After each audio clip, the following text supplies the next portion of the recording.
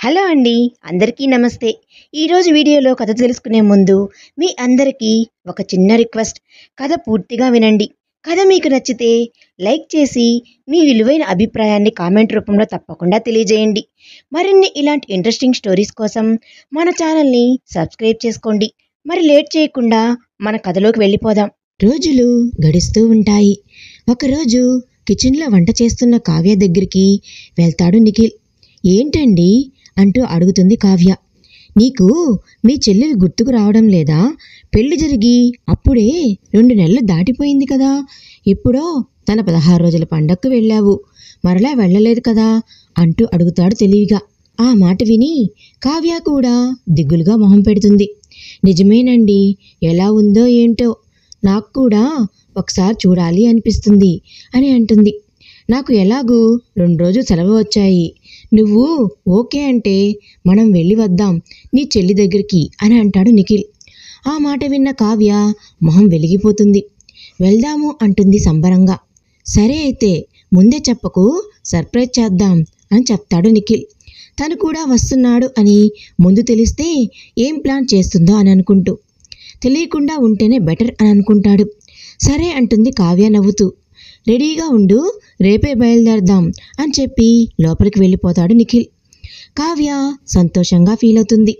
తన్వి తన పనులన్నీ చేసి పెడుతుంటే తెలియకుండానే అన్నింటికీ అలవాటు పడిపోతాడు రోహిత్. తను లేకుండా ఏ పని చేసుకున్నట్లుగా తయారవుతాడు.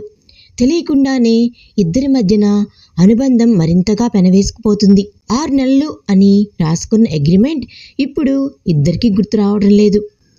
రోహిత్ ఆఫీస్కి రుహిక కాలేజీకి వెళ్ళగానే పనులన్నీ అయిపోయిన తర్వాత హాల్లో కూర్చొని రాజేశ్వరితో కబుర్లు చెప్తూ ఉంటుంది తన్వి.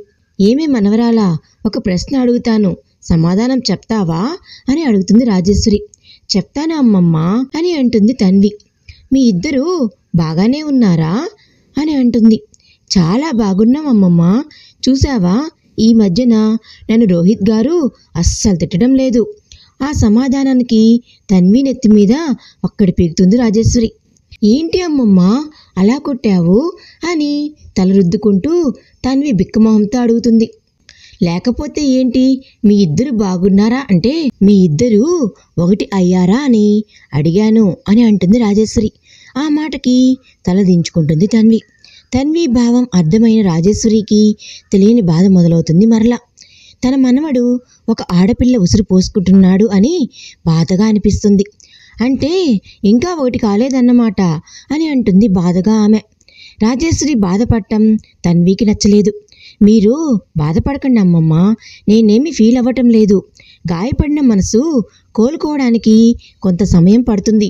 అప్పటి వరకు నేను ఎదురు చూస్తాను మీరు కూడా తనని ఇబ్బంది పెట్టకండి అమ్మమ్మ అని అంటుంది తన్వి. నువ్వు బంగారమే నా మనవడు చాలా అదృష్టవంతుడు అంటూ తన్వి తల మీద ముద్దు పెట్టుకుంటుంది రాజేశ్వరి. నీ ప్రేమని నేను ఎప్పుడు ఇలాగే పొందుతానా అమ్మమ్మ? అని అంటుంది తన్వి కళ్ళు మూసుకొని మనసులో బాధగా. ఇంతలో పిన్ని అన్న పాప గొంతు వినగానే ఇద్దరు గుమ్మం వైపు తిరుగుతారు.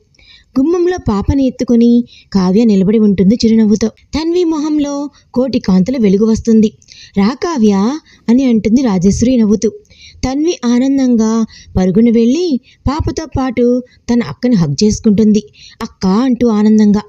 ఎలా ఉన్నావే అని అడుగుతుంది కావ్య. చాలా బాగున్నాను అని అంటుంది. మరింతగా కావ్యాన్ని హత్తుకొని. అక్కని హత్తుకొని సంబరంగా నవ్వుతూ ఉన్న తన్వి ఆనందం అప్పుడే అక్కడికి వస్తున్న నిఖిల్ని చూసి ఆవిరైపోతుంది.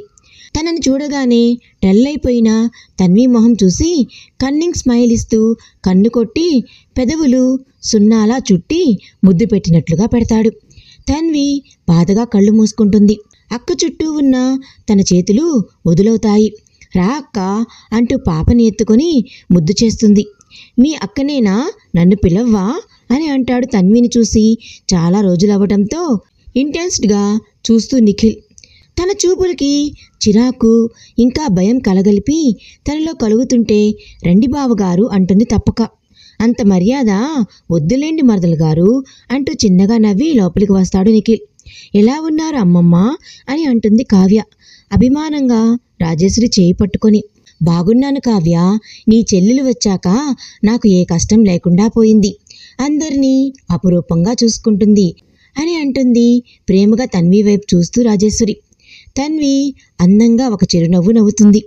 నిఖిల్ అలానే చూస్తూ ఉంటాడు తన్విని. నిఖిల్ చూపు గమనించిన తన్వి చిరునవ్వు ఆగిపోతుంది. ఇప్పుడే వస్తాను అంటూ పాపను తీసుకుని కబుర్లు చెప్తూ కిచెన్లోకి వెళ్తుంది. మీటింగ్ అయిపోవడంతో ఫ్రీ అవుతాడు రోహిత్. క్యాబిన్లో కూర్చుని ప్రశాంతంగా రిలాక్స్ అవుతాడు. ఫ్రీగా ఉన్న మైండ్లోకి తన్వి ఆలోచనలు వచ్చి చేరతాయి. వెంటనే కళ్ళు మూసుకొని తల వెనక్కి వాల్చి రిలాక్స్ అవుతాడు చైర్లో. మూసిన కనురెప్పల మాటున తన్వి రూపం ఆమె అందమైన చిరునవ్వు ప్రత్యక్షమవుతాయి. రోహిత్ గారు అంటూ తన్వి పిలుస్తున్న పిలుపు అతని చెవుల్లో పదే పదే వినిపిస్తున్నట్లుగా అనిపిస్తుంది. ఒక అగ్రిమెంట్ ప్రకారం నా జీవితంలోకి నేను తెచ్చుకున్నాను. కానీ ఇప్పుడు నాకు ఆ అగ్రిమెంట్ వద్దు అని అనిపిస్తుంది తన్వి. నీ చిరునవ్వు చూడకుండా ఉండలేకపోతున్నాను.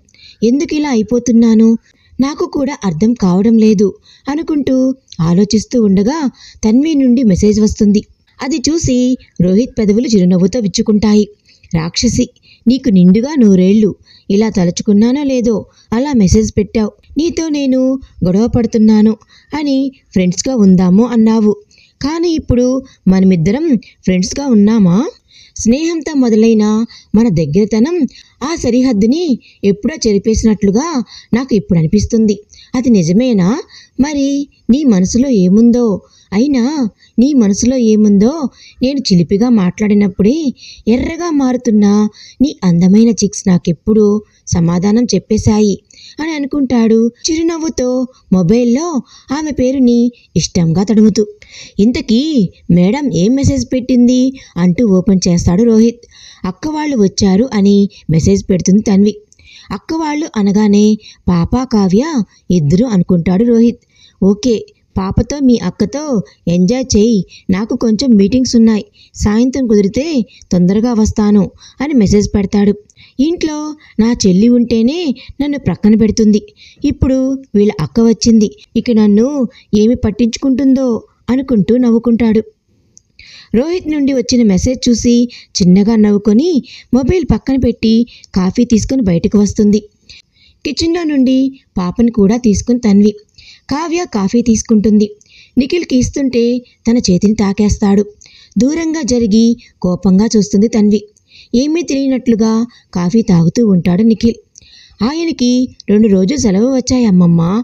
తన్విని చూసి చాలా రోజులైందని ఈసారి అమ్మ దగ్గరికి వెళ్ళకుండా తన్వి దగ్గరికి వచ్చాము అని అంటుంది కావ్య. మంచి పని చేశారు. చాలా సంతోషం. మీరు రావడం అని అంటుంది రాజేశ్వరి. వంట ఆల్రెడీ వండేయటంతో అందరి కోసం రైస్ మాత్రమే పెడుతుంది తన్వి. మీరు రెస్ట్ తీసుకోండి కావ్య అని చెప్పి రాజశ్రీ తన రూమ్లోకి వెళ్ళిపోతుంది. రండి అక్క మీకు రూమ్ చూపిస్తాను అంటూ ముందుకు నడుస్తుంది తన్వి. తన్విని వెనుక నుండి చూస్తూ తన వెనకే నడుస్తూ ఉంటాడు నిఖిల్ కావ్యతో. వాళ్ళకి రూమ్ చూపించి కిచెన్లోకి వచ్చేస్తుంది. రైస్ పూర్తి అవ్వగానే కర్రీస్ కూడా వేడి చేసి రోహిత్కి బాక్స్ సర్ది డ్రైవర్కి ఇచ్చి పంపిస్తుంది తన్వి. పూర్తిగా వర్క్లో మునిగిపోయిన రోహిత్ ఆకలి అనిపించడంతో టైం చూసుకుంటాడు. ఓహ్ అప్పుడే లంచ్ టైం అయిందా? అనుకుంటూ ఈరోజు బాక్స్ రాదేమో. వాళ్ళ అక్క వాళ్ళు వచ్చారు కదా?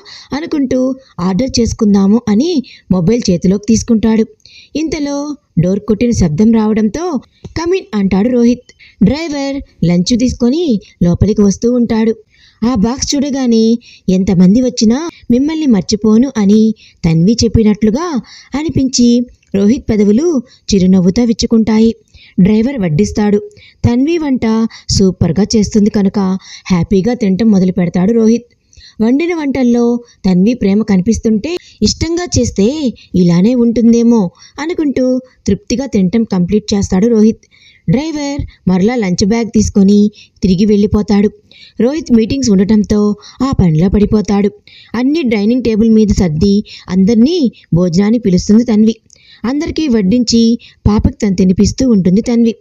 పాపకు తినిపించడం అయిపోయేసరికి కావ్య వాళ్ళది కూడా తినడం అయిపోతుంది.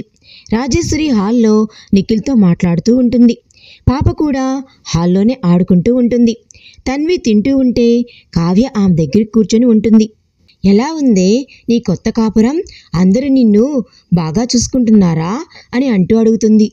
తన్వి క్షణం పాటు మౌనంగా ఉండి చిన్నగా నవ్వుతుంది. ఈ ఇంట్లో అందరూ నన్ను చాలా బాగా చూసుకుంటారు. మా ఆయనతో సహా అని అంటుంది తన్వి. పోనీలే అంత హడావుడిగా జరిగిన పెళ్ళి ఎలా చూసుకుంటున్నారో అని బెంగపడ్డాను. ఇప్పుడు నా మనసు ప్రశాంతంగా ఉంది అని అంటుంది కావ్య. కొద్దిసేపటికి తన్వి తినడం పూర్తి చేయగానే కావ్య కూడా తనకి సర్దటంలో హెల్ప్ చేస్తుంది. ఎవరి రూమ్కి వాళ్ళు వెళ్ళిపోతారు రెస్ట్ తీసుకోవడానికి. కొద్దిసేపు అందరూ పడుకుంటారు.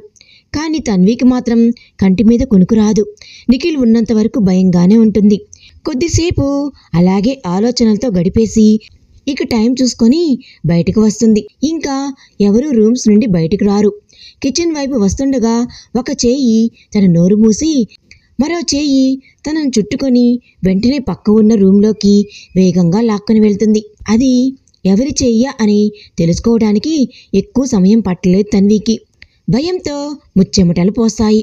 రూమ్లోకి వెళ్ళగానే లాక్ చేస్తాడు నిఖిల్. ఒక చేత్తో తన నోరు మూసి ఉంచే మరో చేత్తో తనని బలంగా హత్తుకొని ఆరాటంగా తడుముతూ ఉంటే తన్వి గింజుకోవడానికి విశ్వ ప్రయత్నం చేస్తుంది.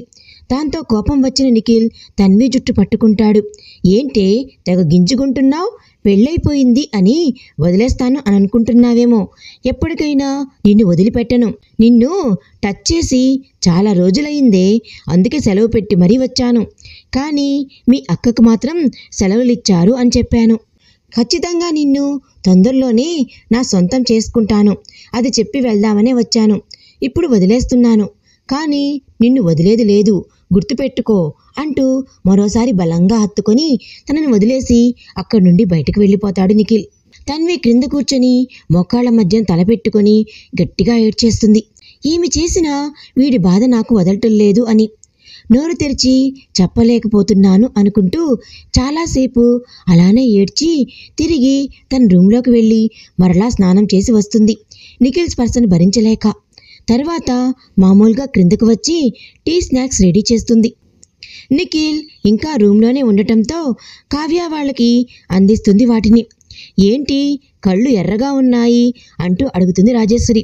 తన్వి ఉలిక్కిపడి ఏమి చెప్పాలో అర్థం కాక అది ఎక్కువసేపు నిద్రపోయానమ్మమ్మ గారు అంటూ తడుముకోకుండా అబద్ధం చెప్తుంది తన్వి.